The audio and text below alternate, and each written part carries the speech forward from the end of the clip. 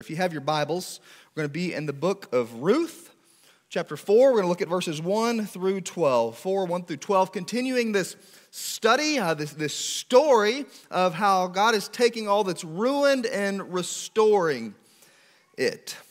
Uh, this past uh, week. Uh, 13 of us, nine here from, from this church, a pastor from Chile and one of his church members, and then two missionaries that we partner with, made a trip to Colombia to serve alongside some churches and a discipleship school there. Uh, we arrived back at 5.30 a.m. this morning. Uh, so I'm, I got one hour of sleep on the plane, and that was like one straight hour. It was like 10 minutes here, 10 there, just kind of dozed. So my wife, uh, this morning said, I'm coming to the first service just see how this plays out. Um, so just putting that before you now. Uh, a little tired, but God did great, great things this past week. Uh, I just want to say thanks, special thanks to Pastor Drew, uh, since. Uh, last week was a great message. Then he prepped again uh, for this Sunday just in case the flight was delayed. So, Pastor Drew, thank you, brother, for your sacrificial service uh, to our church in that way. And then so many uh, staff members uh, that just kind of picked up uh, the slack last week as we went and served there. A reminder that when you send people uh, from our church out to other places, you're a part of that. Uh, we, we, are part of this church family, and a part of us is going out. So thank you for your prayers. Uh, every day I was encouraged to see text messages come through of how you were praying for us. God is on the move in South America.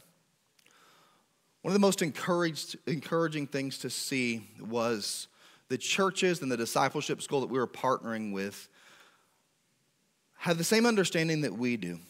That, yeah, we want the gospel to go forth, absolutely, but we want to see people trained up. We want to see people discipled, to see them grow in their faith and then go out and reach their cities, their communities. And that is happening there. The Lord is on the move in Colombia. Thank you so much uh, for your prayers uh, as we served alongside a nutrition center, a couple of churches, uh, a soccer ministry that uh, they're reaching a community. They're going to plant a church there, the discipleship school. So many encouraging things that are happening there as we partner around the world to see the gospel go forth. As many of you know, I'm passionate about missions. Uh, I see myself as a missionary called to the Joshua and Burleson area. I always thought I would leave my homeland, uh, but God had other plans. Um, he has called me here, and, and I want to uh, be responsible, be a good steward of what He has called me to do here, and to compel all of us to go and to reach our community and the nations for Jesus. I count it a privilege every time uh, I get to go and serve with some of our partner churches in different parts of the world. And each and every time the Lord allows me to do that, um, it's almost like He, he recenters me a bit. Uh, I'm reminded of what exactly it is He's called us to do. And this past week is I got up early in the mornings to, to study and to work on the sermon, and then we served all throughout the day, usually till late at night. I was reminded of, of the truth, that the simple truth that I think we can take for granted. If you've been walking with Jesus for some time, I was, I was reminded of the truth of the gospel that our Redeemer came to act on our behalf. I was reminded of the love of Christ.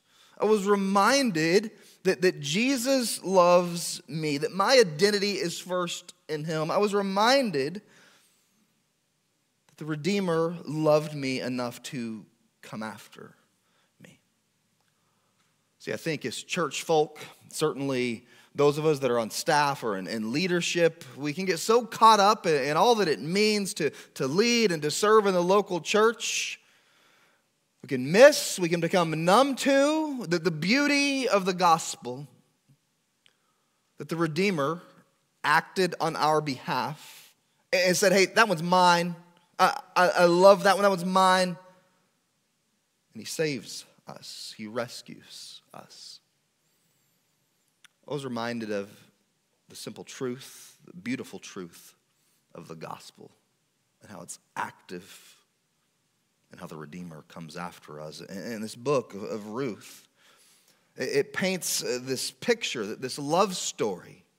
But this love story is, is on two levels. Yeah, you got Ruth and Boaz, but it, it paints a picture of how the Redeemer loves his people. It's a, it's a picture of the story of restoration, the story of redemption. It paints this beautiful picture of the gospel. I want us to look at that this morning in chapter 4 of Ruth. If you would stand, let us jump into God's word. Chapter 4, beginning in verse 1. Now Boaz had gone up to the gate and sat down there. And behold, the Redeemer, of whom Boaz has spoken, came by. So Boaz said, Turn aside, friend, sit down here. And he turned aside and sat down. And he took ten men of the elders of the city and said, Sit down here. So they sat down. Then he said to the Redeemer, Naomi, who has come back from the country of Moab, is selling the parcel of land that belonged to our relative Elimelech. So I thought I would tell you of it and say, Buy it in the presence of those sitting here and in the presence of the elders of my people. If you will redeem it, redeem it. But if you will not, tell me, that I may know, for there is no one besides you to redeem it, and I come after you. And he said, I will redeem it. Then Boaz said, The day you buy the field from the land, hand of Naomi, you also acquire Ruth, the Moabite, the widow of the dead, in order to perpetuate the name of the dead in his inheritance. Then the Redeemer said, I cannot redeem it for myself, lest I impair my own inheritance. Take my right of redemption yourself, for I cannot redeem it. Now, this was the custom in former times in Israel concerning redeeming and exchanging. To confirm a transaction, the one drew off his sandal and gave it to the other, and this was the manner of attesting in Israel. So when the Redeemer said to Boaz, Buy it for yourself, he drew off his sandal. Then Boaz said to the elders and all the people, You are witnesses this day that I have bought from the hand of Naomi all that belonged to Elimelech and that belonged to Chilion and Mahlon. Also Ruth the Moabite the widow of Mahlon, I have bought to be my wife, to perpetuate the name of the dead and his inheritance, that the name of the dead may, be, may not be cut off from among his brothers, from the gate of this his native place. You are my witnesses this day. Then all the people who were at the gate and the elders said, We are witnesses. May the Lord make the woman who is coming into your house like Rachel and Leah, who together built up the house of Israel. May you act worthily in Ephrath and renowned in Bethlehem. And may your house be like the house of Perez, whom Tamar bore to Judah, because of the offering the Lord will give you by this young woman. This is God's word. Let's pray. God, this morning we gather together. God, we thank you for moms. We thank you for the gift of moms. We thank you for this day to celebrate them. We thank you for how they have graced our lives, for the sacrifices they have made. God, we thank you that we can gather here together on this Lord's Day, that we can look at your word. God, I pray that as we look at it, we'd be reminded of the beauty of the gospel. God, I pray we'd be reminded that we were bought with a price. I pray that we'd be reminded that Christ came after us. And if or when our world is unraveling, we'd be reminded that you have a plan and a purpose your hand is upon your people, and you are working. God, when all seems ruined, we know that you're the one that restores. God, this morning, teach us, convict us, comfort us, speak to us from your word. It's in Christ's name we pray. Amen. So to bring you all up to speed, uh, a lot of you know have been here for every all four sermons so far. We have two more uh, left in this series through the book of Ruth. But if you missed one, to bring you up to speed, the book started out there was a famine in the land of Judah. This is in the time of judges. Everyone was doing what was right in their own eyes. So, out of judgment, uh, a famine comes. This guy, Elimelech, uh, takes his family out of there to a pagan land called Moab, which he wasn't supposed to do. He dies there along with his two sons. He leaves his wife, Naomi, and the daughter in law is behind. One of them is named Ruth. Naomi finds out the famine has ended in Judah, so she decides to go back. Uh, Ruth commits to going with her, says, I'm going to follow you. Uh, I'm going to follow the God you follow. Uh, my God is going to be the God of, of Israel. And they travel back to the promised land. When they get there, Ruth gleans in the field to have something to eat to provide for her and Naomi. This field happens to be this guy named Boaz, and Boaz, it turns out, is one of their redeemers. And so Naomi and Naomi and Ruth come up with this plan to see if Boaz would act on their behalf, to, to act on their behalf, to redeem them, to, to restore that which is ruined. So, as we pick up today, Boaz is going through kind of the legal process to redeem them. He's going to confront this other brother. It's a tale, really, of, of two redeemers. We see the, these two redeemers in the text. And as we look at that, uh, what I want you to catch, what I want you to take away is this, this thought restoration comes through the willing sacrifice of our Redeemer, who in all selflessness acted on our behalf.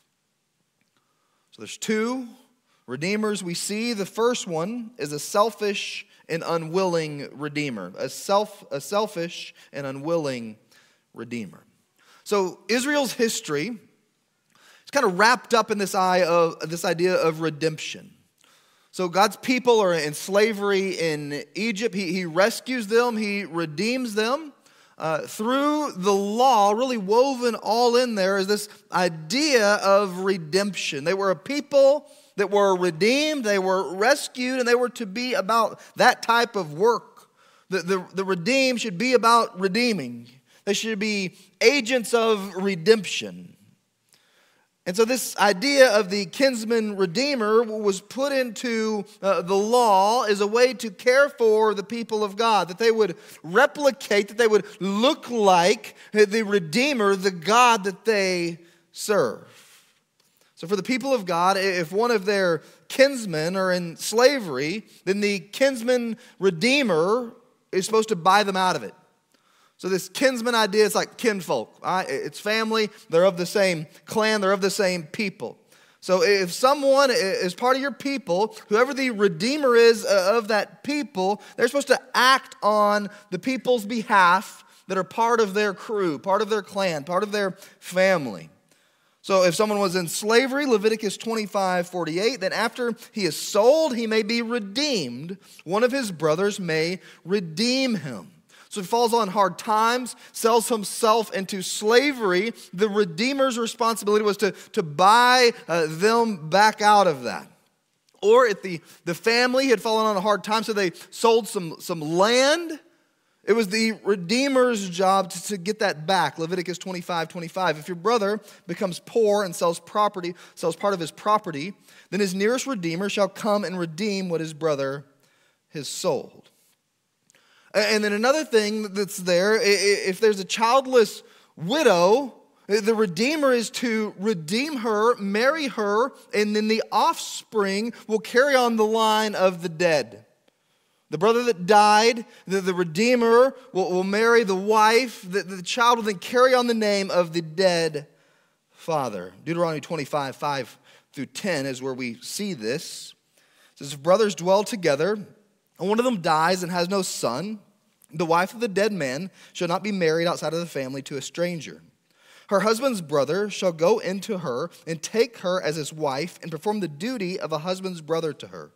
And the first son whom she bears shall succeed to the name of his dead brother, that, this, that his name may not be blotted out of Israel. Verse 7 and if the man does not wish to take his brother's wife, then his brother's wife shall go up to the gate to the elders and say, My husband's brother refuses to perpetuate his brother's name in Israel. He will not perform the duty of a husband's brother to me. Verse 8. Then the elders of his city shall call him and speak to him. And if he persists, saying, I do not wish to take her, then his brother's wife shall go up to him in the presence of the elders and pull his sandal off his foot and spit in his face.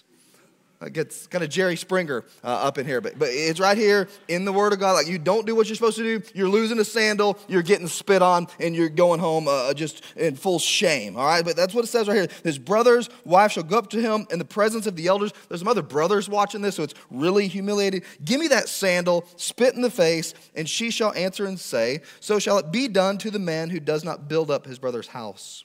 And the name of his house shall be called be called in Israel the house of him who had his sandal pulled off. So if, you if you name your home If you got one of those nice houses where you got to have a name for it, you don't want to name it that, his sandal pulled off. That's not, that's not a good thing to, to name your house. This whole idea here is this thought called Goel. And it's over 20 times in the book of Ruth, this idea Goel. It's coming from this passage in Deuteronomy 25. The, the idea is that a redeemer takes that which is ruined and restores it. So for Ruth and Naomi, obviously, if you're tracking with me, they fall in this category. They fall in this. The, the kinsman redeemer is to take Ruth, marry her, have a child, and then that child is going to carry on the name of Mahlon or Elimelech. That's key to understanding here.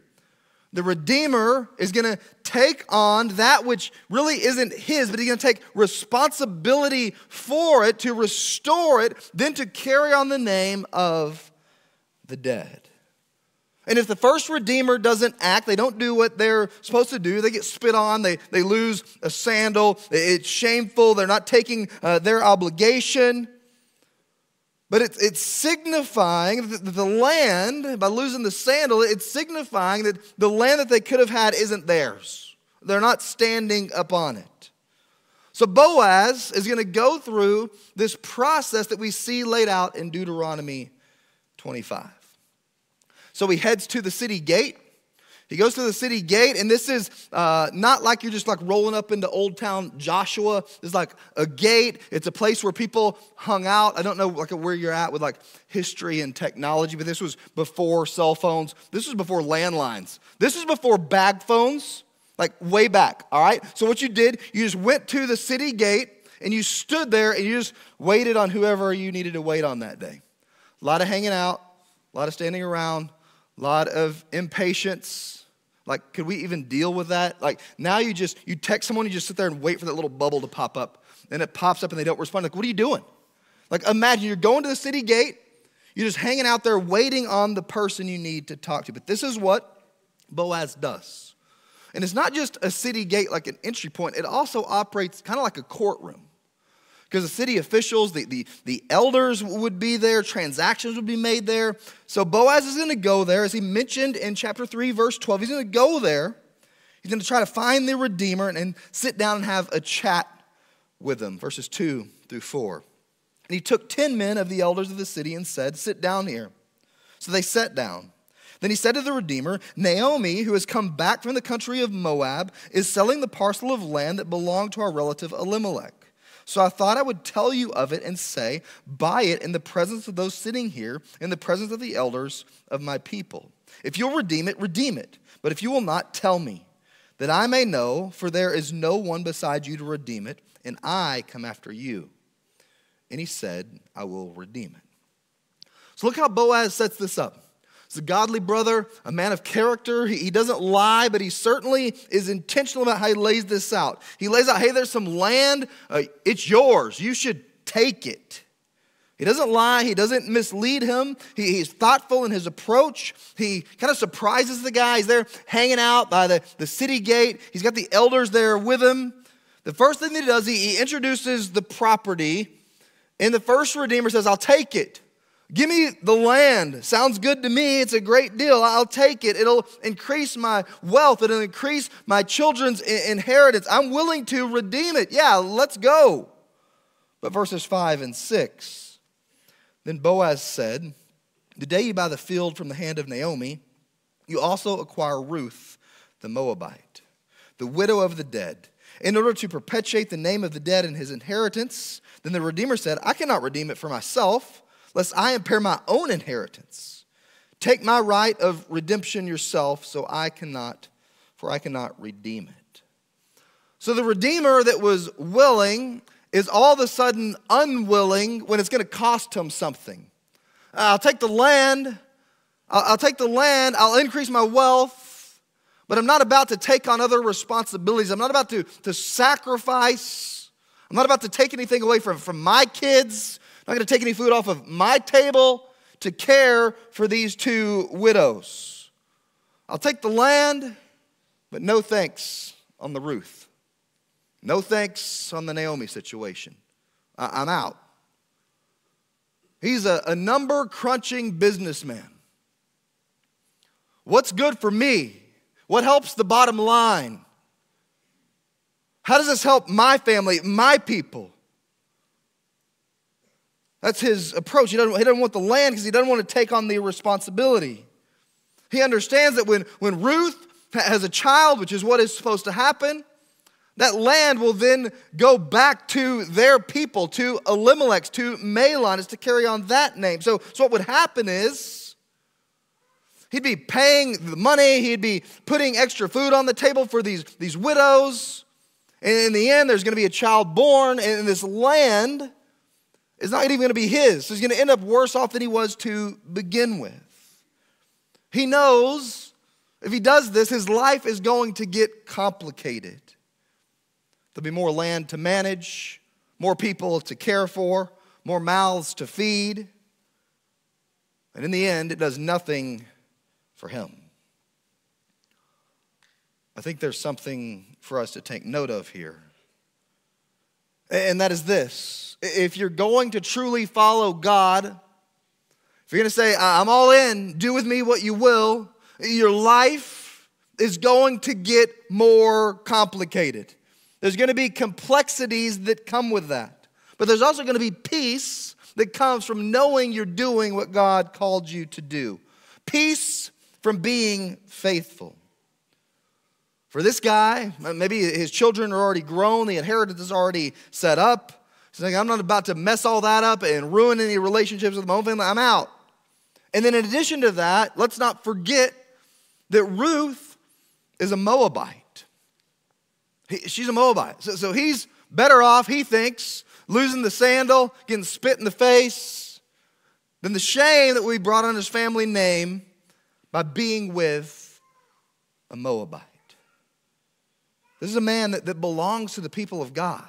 Hear me, church. Like, this is someone that was set apart by God, redeemed. His people rescued out of Egypt. This is supposed to be a follower of God, someone that, that's benefited by redemption, by grace, by protection. But he says, nah, I'm not looking to mirror or to look like the God that I serve. I'm out. It's going to cost me too much. It's going to affect the bottom line. I don't want any part of it. Church, for you and me, let us realize, let us recognize that if, if we've been set apart, if we've been redeemed, we are to act in accordance with our Redeemer. The God that we claim to serve, we're supposed to be looking like Him. Let this be a lesson for you and I that if we are redeemed, we act as agents of redemption. We act as, as agents of restoration. When presented the opportunity to show the love of Christ, to, to sacrifice, it's going to cost us something. We take the step forward, we say yes. What we don't say, hear me, church, because this is what we often say. We're just like this first Redeemer. We say, What's in it for me? What's in it for me? What am I getting out of it? Oh, it's too much. It's too much. You want me to walk across the, the restaurant and share the gospel? What if they make fun of me? What's in it for me? What's at stake for me? Is people of God that have been redeemed through the blood of Jesus. We don't say what's in it for me. We say, God, what would you do with me? God, use me as you see fit. I'm yours. See, here in the text, this unnamed Redeemer, he's all about the land about helping his family, building up his name, building up his kingdom. It's about him, his wealth. But when there's a sacrifice to be made, he says, absolutely not. Absolutely not. I think in a, a book that has much to say about names. In recent weeks, we, have seen this. It has much to say about names. Every person in this book, their name means something. But here in the Hebrew, this guy is pretty much old so and so. The brother doesn't even get named. Old so and so. Mr. No Name, because all he has on his mind is what's good for him. So, brothers and sisters, let us not look like the first person in this text because he's a selfish and unwilling redeemer. Secondly, we see a selfless and willing Redeemer, a selfless and willing Redeemer. So there's this idea of redeeming people that find themselves in the worst situations. We see that, that laid out in the law. And it's not about land, it's about love. It's not about wealth, it's about love. The land is God's, anyways. The money is God's, anyway. The crop, it's all God's. It's all His. It's all His. But out of love for His people, He puts in place that this plan, that this law, that this way to, to live out the love that He has showed for them. They would be agents of redemption that they should love one another as a result of the God they serve and what He has done for them, that it's not what's in it for me, it's what would God have me to do. The very spirit of the law that we see here, it's a law of sacrifice, it's a law uh, of selflessness. The, the unnamed Redeemer, Mr. So and so, he missed the memo, but Boaz didn't. Verses 8 through 10.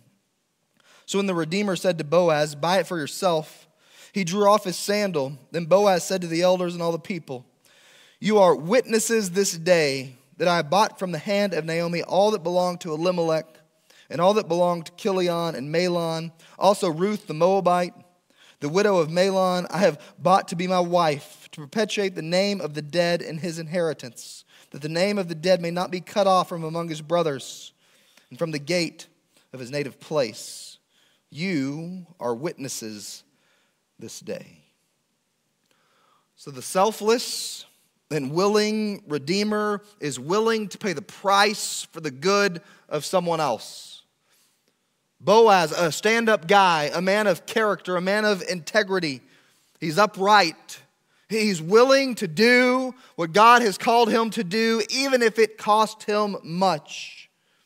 Over and over again throughout this book, We've seen Boaz as this type of guy. He's a man of godly character. He steps in when, when someone else won't, no matter what the cost is. And not only does he do what is right, he does it in the right way. The elders are there, the witnesses are there, they see this taking place. He says, You are my witnesses on this day. Uh, reminding us uh, of back in chapter 3, verse 13, he said he would resolve the matter that day. And in response to this, there's this threefold blessing from the people that are hearing this, the witnesses. Verses 11 and 12. Then all the people who were at the gate and the elders said, We are witnesses. Listen to this. May the Lord make the woman who is coming into your house like Rachel and Leah, who together built up the house of Israel. So there's one prayer, one blessing. Secondly, may you act worthily in Ephrath and renowned in Bethlehem. And may your house be like the house of Perez, whom Tamar bore to Judah, because of the offspring that the Lord will give you this young woman. So I think there's three blessings that come out of this text. Their, their response is this they ask that the Lord would make Ruth like Rachel and Leah, the wives of Jacob, where the 12 tribes of Israel come from. Leah would have been a distant ancestor of Naomi and Boaz. And their, their prayer is make Ruth like Leah and Rachel. Bless her in that way. So there's the first prayer, the first blessing. Then, secondly, the next is a prayer for Boaz that he would, prosper, that he would be seen as a man of sacrifice, of selflessness in his land of Bethlehem, of Judah. And then the last prayer is this prayer really for the whole family May the house be like Perez, whom Tamar bore to Judah. But because she, if you know the story, she was like Ruth. She was a widow. But she went about it in a deceptive way. She had to, to, to step in when she thought God wasn't going to, while Ruth, on the other hand, she sacrificially serves, she sacrificially lays down her own life, trusting the Lord for the outcome.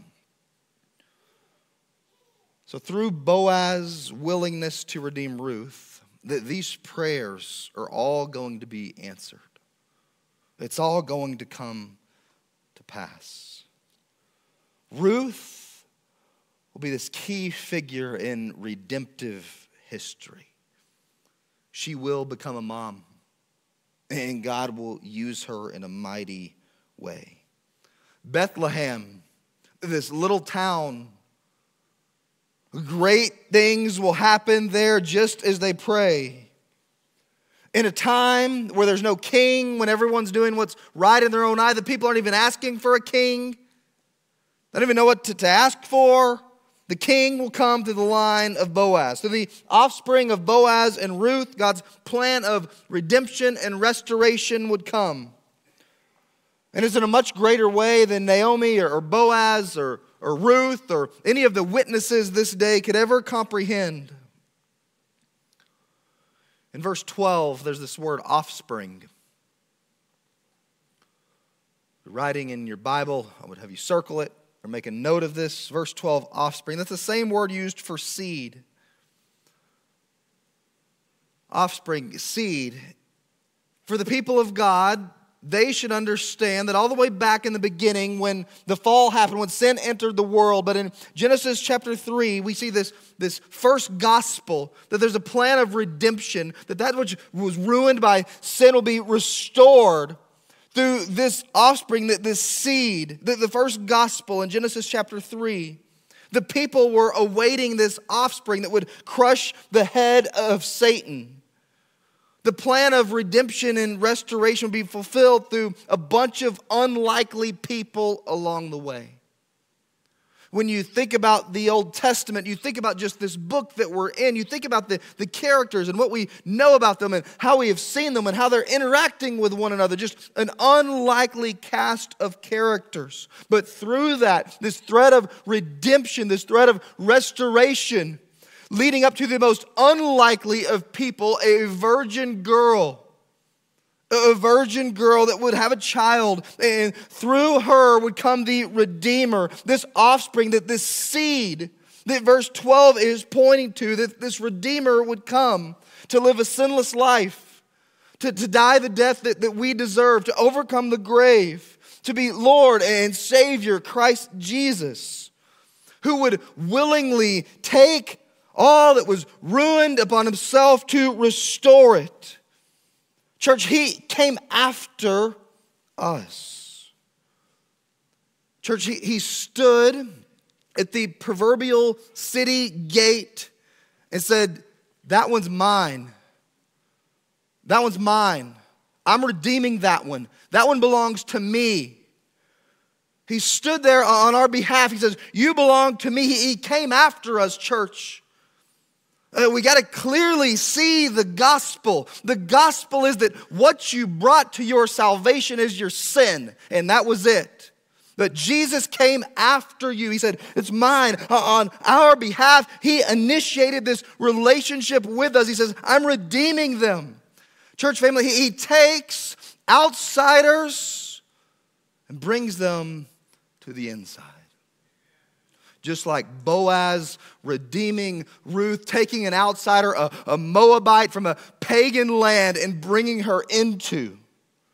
Our Savior redeems us through the finished work on the cross. If you're here today and you don't know Christ,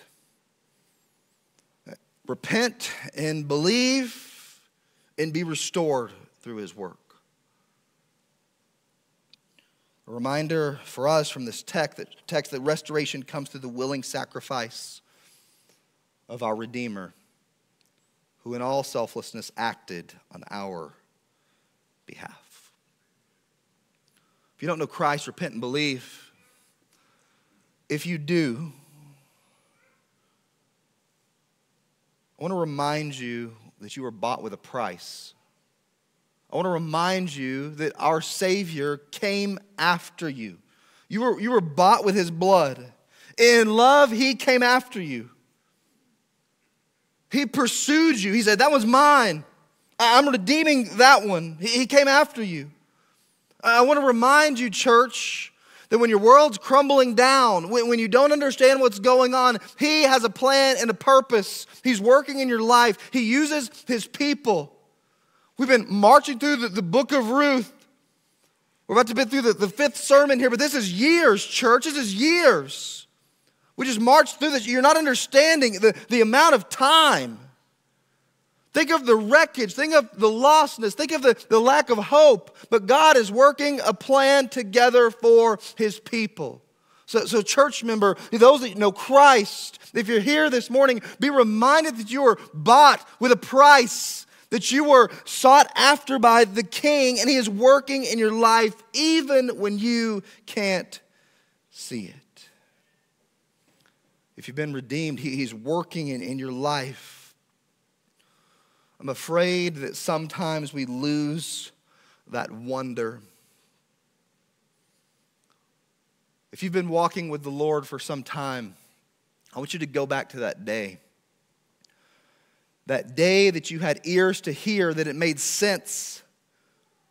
That you're like, Jesus called me to, to himself. I've been saved. Go back to that day. Remember how you felt when you first understood the gospel that Christ loved you, that he came after you, that he redeemed you. Take yourself back to that day. It's very important that we grow in our theology, that we are discipled, that we learn more of Jesus, that we live it out, but we never forget that Jesus died for us. The beauty, the simple beauty of the gospel.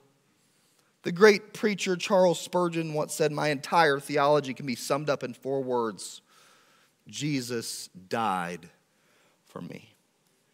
Jesus died for me. Church, I don't know about you,